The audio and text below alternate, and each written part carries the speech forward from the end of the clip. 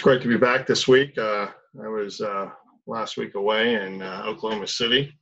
Um, pretty brutal, over 100 degrees every day, a lot of humidity. But you know, I had the opportunity to be with good people and uh, did my job, I suppose, and uh, you know, I had to overcome a lot of things. And as we're talking about overcoming uh, life, it was there was a lot of overcoming of sometimes personality. Hi, Kathy. Uh, personality issues, and of course, um, work issues. Trying to keep uh, aircraft in the air and uh, trying to uh, meet the real customers' uh, expectations. And they are in uniform. So this week we're talking about um, shipwrecks. Last week we talked about fear of failure, and I felt we needed to address uh, overcoming shipwrecks in our lives. Um, I used the term spiritual failure last week and introducing this and kind of we're talking that, and um, there there are often times when uh, our lives are have storms in them. They're just so powerful that our boats are not able to hold together, and we begin to sink. Um, some of these are due to our own failures uh, to navigate rough seas, and and you know, as you see the horizon before you, you you kind of make mistakes. I have. Sometimes there's huge problems in our lives that that just blow in, and it's a, as I use the term, a great blow, and it's a seagoing term. If you're on the open ocean, um, you know the wind and the water work sometimes against us, and we start to lose hope. Uh, we start to doubt our ship. We start to doubt our abilities, and sometimes we we even doubt God. Um, that's pretty common. Uh, the Bible's filled with with doubt, um, and we're talking about that. And but those who launch out on the open ocean of this world uh, with a nice wind, and uh, they don't really know that the storms that they might meet. Sometimes they might take it for granted um, that they have um, not necessarily obtained their purpose, but they're on on their way. So, as a as a sailor on board a submarine, we navigated much differently than most of you uh, visualize. Um, we're below the surface as well as on the surface. And I can assure you that whether you're on or below, we never acted recklessly and never felt really quite safe until we entered port. And that's the same in life, that we should never feel quite safe until we re- reach the port of the end of our life or heaven. And I, I, I think often we take a lot of things for granted and we start to rest rest in the wrong things. And uh, so, as a submariner, we didn't see the sun or the stars for days. And often, there's people even on the surface that don't see the sun or, or the stars for days when they're on the open ocean, especially when when uh, there's there's a storm and uh, and they're uh, the, waves are rocking and they're on the verge of a shipwreck. And uh, you won't either. And Paul um, in Acts 27 talked about uh, that very term that they saw neither sun nor stars for many days. And depression can result in that same condition. And if we're talking about people and we're talking about spiritual conditions, we sometimes walk straight into darkness. And we, as we have no light, and we just walk the wrong way, and our cargo gets so heavy, so we can't navigate really safe. And it gets so heavy that we can't keep our, our ship on the surface and we sink folks often will rather shipwreck with all their goods than have a safely and happy life. But many rather not shipwreck their faith and good conscience and and and get rid of their goods and and, and make sure their ship is safe. Sailors will never succeed if they don't navigate with sound principles. Principles that go back beyond the Portuguese, who to me are the father of what I I did. They're they're the father of navigation for my era. And and they'll never succeed in returning to port safe because they didn't navigate properly. Likewise, when when we as broken people um, try to navigate this broken world and this terrible world, we we find ourselves shipwrecked. Uh, and when we give up hope of saving ourselves by holding on to things that are heavy enough to sink us, we're not as well prepared as if we understand that in God's word there's a trust and we find mercy in his son and not in our own devices. So tonight, as I, am going to pray and as we discuss spiritual failure, realize that we all fight the fight of our lives. And even if the sun is shining and there's no waves and you can see the sky clearly, remember how quickly a storm can spin up and toss you to and fro uh, on the rough surf and wind. So let's pray. God, we thank you for the opportunity to be here. I thank you for these folks that uh, each week uh, just are so patient and kind to me and say, give me great feedback. And I ask you to minister to them, meet their needs, help them to navigate out whatever ailing them, and just be with them. Your name we ask this. Amen. So the conflict is very real, however, isn't it? And the struggle and the stress is difficult and dangerous. And if we don't put on armor or we don't put on the right preparation, uh, you know, we won't believe that this spiritual battle is is winnable. You know, Charles Hodge, uh, he's a he's a theologian, said this: salvation, however gratuitous, is not to be obtained without great effort. And I, I believe that we're living in a war zone. I, I don't like to list every single thing here, but we're living in a war zone, and I'm talking I'm talking about things of the Navy. But if if you were born in the '60s like me, you were living in a similar time that they are today. You know, right? Where our boys were fighting overseas in Vietnam, and here in the U.S., we are fighting amongst ourselves and on fronts of civil rights and anti-establishment rallies. Today, our children, our boys and girls, are fighting in many areas of the world, and we're still fighting amongst ourselves on oppression, polarizing politics, and a new flavor of civil rights. So nothing's really changed, has it? Hi, Veronica. It's good to see you, Ronnie. So in the midst of all this, we find ourselves trying to navigate through spiritual warfare too. It's intense. It's a close quarter battle. It's wrestling, and you're never quite clear of it if you're doing it in your own power. Uh, while we might be tempted and uh, and tried what other people have done, Paul tends to help you identify there's a, there's another real source of conflict that the enemy of God and man are not necessarily what you can see. These tyrants operate in the darkness. Um, an illusion uh, is their antagonism and their opposition to God. Um, they are spiritual ones of wickedness, and they they look to to choose and pursue rebellion and evil in you. And I there's plenty of scripture. If you want them, I'll back them up. Uh, but if you remain in in this abject spiritual failure, where you or you're shipwrecked, your life will be compounded as you have no protection and no confidence in God. And He is the one who really cares for you, and you'll be stuck and you'll be quagmired and you'll fall deeper and deeper. And as you continue to stray from His protection, you'll get picked off one by one, probably like a wildebeest on the plains of Africa. You know and i don't want that for you and nobody else wants that for you. We want you to be delivered from this stuff you know. Understanding forgiveness is not enough. You must believe by faith that you're forgiven. You know so here's here's some quick statements. The key to the whole process. Stop condemning yourself. You cannot go undo the past but you can change the future. Others may not forget your mistakes but god will forgive and he will forget. Remember god sees the end from the beginning. He's not looking at your life right now. He's looking downstream. He knows what's best for you.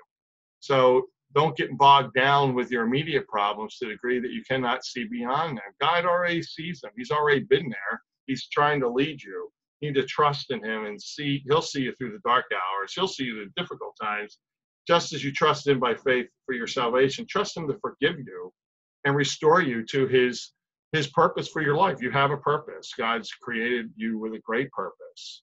The Bible reminds us without faith, it's impossible to please Him.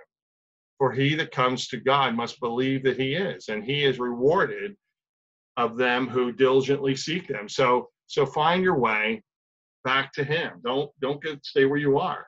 It's a tribute to a musician that he can make a perfect instrument, and uh, sorry, he can make take an imperfect instrument and make it play great music. I remember my friend Paul Elias came to my house when Barry was a little boy, and we had this little toy piano. It was this big, and piano. He Paul was such an accomplished piano player and organist. He made that little toy piano an art form, and that's what I'm talking about. It's also a tribute to a surgeon who could perform difficult operations in the most primitive of conditions. In the most remote mission station, uh, over in Africa without all the sophisticated devices that you might have when you go in to have a, a simple procedure here. But that surgeon is an art artisan and he knows how to do it. And it's even more so a tribute to God that he uses imperfect instruments to establish and build his kingdom. Who are those imperfect instruments? Let me tell you, it's you. You are the imperfect instrument. This is the person God uses. don't go looking around for somebody's grave. These were the people that that God chose for the foundation of where you are today, thousands of years later, are were not strong. They weren't brilliant, and they were usually not gifted, and they were usually just those guys. You know, those guys. You know, th- those guys. They were weak men who often failed. Right. Sometimes they were so spiritual clueless that they were that when you read their accounts, you wonder how could they be so you know oh, i mean how, they're, they're like idiots right they're they're just not the best people I, you know I, I i think the fact exists even in the church today i'm i'm in leadership in spite of my many failures in spite of my many family failures perhaps before me in spite of my family family members before me despite of my family members next to me you know and and my friends and all that growing up here i am i'm still here and I'm still trying to do the best I can. And I'm one of those dull people that God chose to use. So throughout Scripture, we see God using imperfect people for the sake of His mission. And I can't understand why Jesus chose those guys. Why did He do it? Why did He have a, a, a wonderful woman, a person He chose to appear for, appear to after He rose? Why her? Why why Peter, who who is me like me, brash, outspoken, had a loose tongue, could probably dig, dig his own grave with his mouth. And this is the people he uses. I'll tell you why, because it proves the validity of him, right? The validity of him. He didn't call the popular, he didn't call the rich, he didn't call the successful. He called people like you. He called people like me. He called the poor. He called the broken. And you know who else he called? The faithful. And I can only imagine how confused religious leaders were then. And I can only uh, imagine how confused religious leaders are today while looking at the team of people who are out there doing the work. Many of you, I know you're doing great things. You're doing wonderful things. But I don't want you to remain shipwrecked anymore. I want you to get back in the game and understand that you, you might be thinking yourself, I'm not I'm not successful. I'm not rich. I'm not popular. But this is the person he's chosen. And this is where he wants to take it. So, from an outside perspective, you see people didn't really matter where they were from. It didn't matter what they had done. It didn't matter who they even used to be. It's the person, the people that were used to do the good of the Father's will. And you don't believe me? All right, I'm going to run through this list really quick. So bear with me. Abraham was old Elijah was suicidal. Joseph was abused. Job went bankrupt. Moses had a speech issue. Gideon was afraid. Samson was a womanizer. Rahab was a prostitute. Can I keep going? The Samaritan was divorced about four times and was living with a guy. Noah was a drunk. Jeremiah was young. Jacob was a cheater and a deceiver. And if you if you know Jacob's, you know, David's a murderer and, a, and an adulterer. Jonah ran from God. Naomi was a widow. Peter denied Christ three times, and, and man, he just got in all kinds of trouble. Martha worried about everything. Zacchaeus was small and money hungry. His disciples fell asleep while he was a, while he's praying and wanted to be arrested. And Paul, probably the guy who wrote most of the Bible, was what? A murderer himself, persecuted Christian before coming on. So these people are the people that God chooses to work all things for all the good for those who love him and have been called to his purpose right? So you need to you need to i'm sorry i have to let somebody in. Okay i think she's already in. All right so you need to realize that if you ever feel not worthy enough remember that jesus had this bunch of people and they're flawed to share the hope in what a flawed world but who would you rather listen to would you rather listen to somebody who who has it all together, or would you rather listen to somebody who's already been through maybe something you're going through? I always say to people, you know what? I know you're going through this, and we're going to get you through this, but you know, one day you're going to help somebody else get through it. Know, Jesus didn't call the equipped; He equipped the called. And no matter where you have been through life, remember that the same power that conquered the grave lies within you. Don't ever, don't ever forget it. Don't ever forget it I'm sorry, I'm still trying to figure out why this is looking the way it does. All right. So so how how how can we how can we grasp that that somebody somebody who who declared that he was going to lay his life down for Jesus just just days before couldn't even act like he didn't know him to the point where he cursed him. He cursed. So Peter, I don't know him. I know him. I'll lay down. He grabs a sword. I'm going to do. And then three days later, you have to realize that we are we are flawed, but it doesn't matter. It doesn't matter. It's we're going to lose the battle that dark night, but we're going to gain everything else on the other side. Take courage because there is someone that you can reach out to that's overcome this world and and and don't ever worry about your spiritual failure. God has encouraged you through his love and his grace that he wants to put you back on it back on your feet. Don't stay there anymore. You know don't don't hang out there. Brokenness is not the same as the spiritual condition that that we're all born with. Brokenness is something we need to overcome you know? I'm not i'm not i don't want to get off on a on a whole tangent on on sinful condition but you folks can overcome being spiritually broken. You can come back from that. You know this is this is the this is the road ahead of you. You need to fight through it. You know you got to insist on on not always being motivated by your will but trying to find a way to be motivated by god's will. And just keep doing what he is asking you to do and not necessarily what you selfishly want to do. I know me, I'm I always want to be in control, right? I don't want spiritual pride, right? I don't want self-righteousness, but I have it. Right? Job was one of those people that had that, right? David David committed such an atrocity. He's a, it was adultery and murder. You know what I mean? Yet he's somebody that gets restored. God is about God is about the, about restoring people from where they are and not not leave you where you are. So if you make a mistake, don't stay there.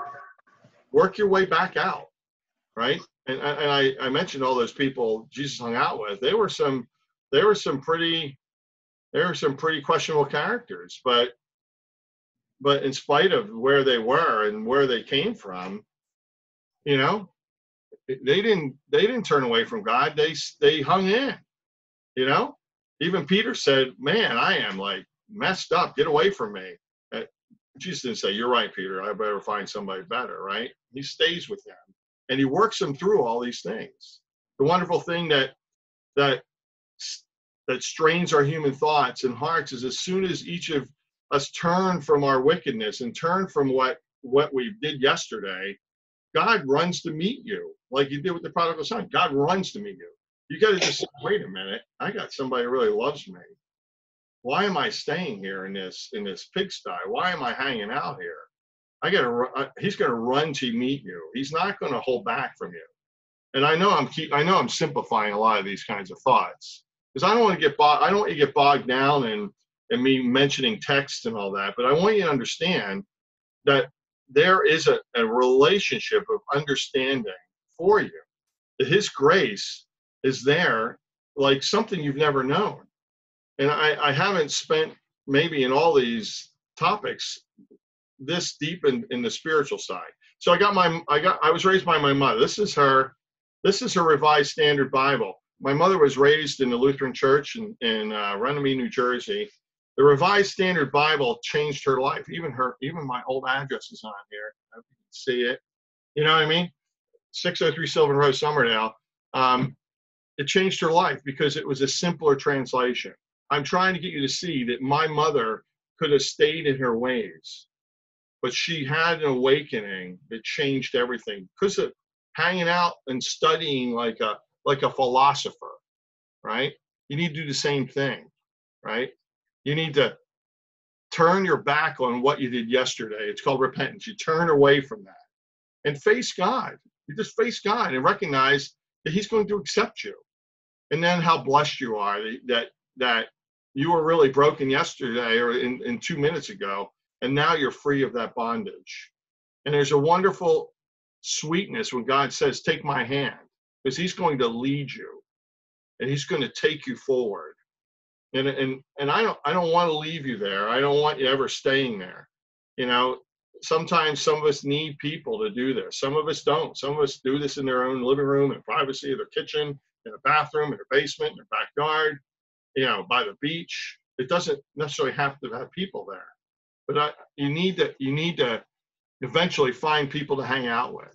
You need people of like faith that can can strengthen you. You know, you need to go forward. So so this is I'm moving moving rapidly through this. So I want to talk about a couple things. We need to fail forward. How do we do that? By let, learning our setbacks and then by making sound adjustments going forward. If you know what your setbacks are, don't go back there. If you're an alcoholic, I don't need to go hang out at the bar. Okay. I, I, I understand my setbacks and I have to make good adjustments.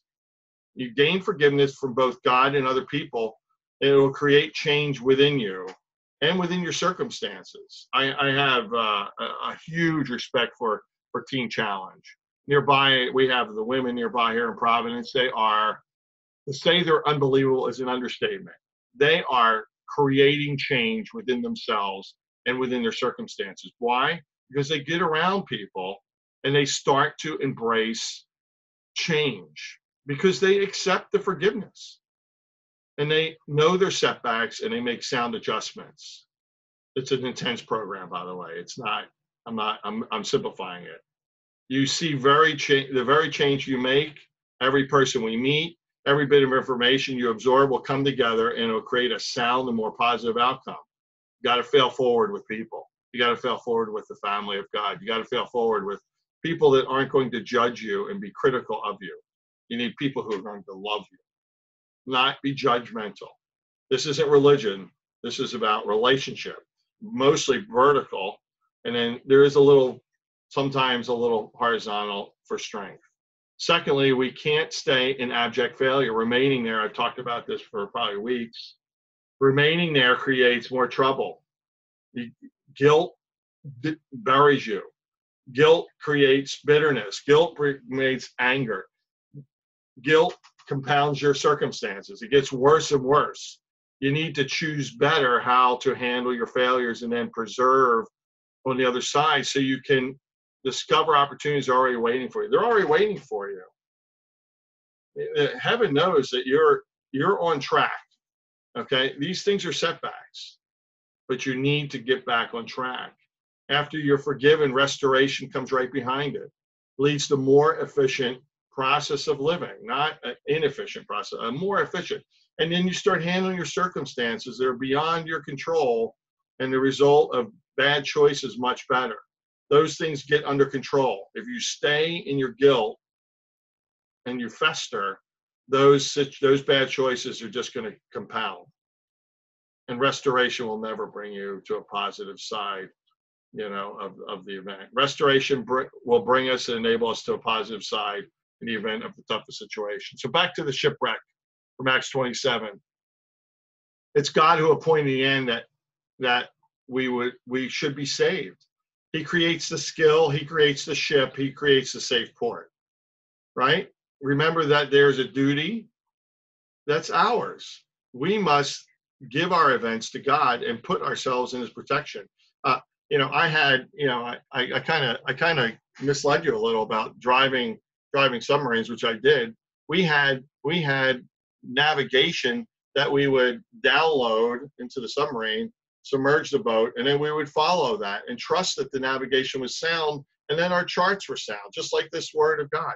That our charts were sound. That we knew what the underwater mountains were. We knew the cavern. You know, we, we knew the terrain, even though we couldn't see it. It's the same, right? You gotta you gotta understand. He he created the skill the ship, the safe port. That's the, the duty is for you to follow it. Happy are those who who have such a one in their company, like like Paul did in, on that ship in Acts 27, who had not not only a relationship with heaven, but he was enlightening them to what to do. There's going to be people around you. You're going to have. You're going to be able to um, interact with. You're going to give them wisdom right? Because why? Because you're hearing from the very Spirit of the living God, and you will be able to help them. They'll be even sometimes living under the umbrella of your blessings, and they'll be safe, and they'll be delivered from some of the distresses and dangers of the, even their own lives just because they're alongside you. Unfortunately, once they move along, then they're back into their circumstances. The star of this world works death. I don't know how else to say it. While joy in God is life and peace. And the greatest distresses and dangers. Eh, this world is is busted up. It's not getting any better. I, you know, I'm I'm 59 and it I, I just feel like it's worse than ever. The comfort of God's promises can only be ours by believing and depending on Him. You know, and He He's going to fulfill His promises. You know, and and if and salvation reveals that He He wanted wanted to fulfill His promises. You know, He He appointed one person to to make a way for you that you wouldn't that you could believe that he's going to fulfill his promises. Matthew Henry, he's a uh, he's a Bible commentator, said this about Acts 27. If God has chosen us to salvation, he has appointed us that we shall obtain it by repentance, faith, prayer, and preserving obedience. It is a fatal presumption to expect it in any other way. I, I, I, that's a strong word, I understand. But I'm here to encourage people to commit themselves to following a, a path I'm here to invite you to follow the path. I'm trying to clearly show you the path. You know, you know, I, I mentioned my mother. My mother was a whack job Christian. I say that to a lot of people. She was unorthodox. I've tried to be that, like my mom. I, I try not to ever make people feel uncomfortable with me. I don't want you to ever think of me as religious. I don't I want you to think of me as some some somebody better than you. You know, I'm no different, no no positionally or whatever. I need I need the same statement I just read to you, and I'm no different. But to get to the port safely is is based upon a relationship with God, and He truly cares for you, and so do we. And I know, I, and I say so do we, meaning the church that you sail with. They care about you and I and I care about you. And I, I say this every week as I close, and I I'll say it again this week as I'm getting ready to close before I introduce next week. Reach out to me if you need me. If you don't have somebody local to you, reach out to me. I will I will give you my number. I will if you're local, we'll we'll get together. If you're in Jersey, if you're in England, if you're in where somewhere else in the country, we'll get on the phone. Whatever it is, I want to help us all to reside arrive safely in port together. You know, I want to hang out with you for for eternity. You know, but most importantly for this lesson, I want you to get through this life with with uh, overcoming all the obstacles. And we've talked about a lot of obstacles here, but I want you to get through the obstacle of of being being shipwrecked in in some sort of serious sinful failure. But I want you to get the port, and I want you to get the port safely. There's skilled people around you that want to help you and then ironically within weeks i, I can uh, i can promise you you'll be helping me. You'll be helping that person. You'll be helping that person because why? That's the way it works. So hopefully this has been good. Next week we're to for next two weeks we have three weeks left by the way. For the next two weeks i want to do some quick uh, biographical snapshots on as i close the series on how people overcame incredible obstacles. And next week i'm going to talk about talk about Louis Zamperini and how he remained unbroken. Now, if you haven't seen, if you haven't seen Unbroken, it was directed by um, Angelina Jolie. It was her first film. You can check it out. If not, it's okay. I'm going to talk about his life, and I'm going to talk about how he navigated to PTSD um, after he got back. And uh, I kind of kind of ruined the movie for you now, so I apologize. Uh, I should have said warned you that I was going to break break some of the storyline. But anyway, so next week, uh, overcoming obstacles: how Louis Zamperini remained unbroken. He has a book out, and he has several books out. So blessings to you all. I hope uh, hopefully I'll see you soon in person, or I'll hear from you again. Don't remain don't remain shipwrecked. Uh, reach out reach out to people, okay? And I I so appreciate you uh, checking me out on on Facebook and also on uh, over here on Zoom. I got I got one person again. So take care. Love you guys. Bye bye.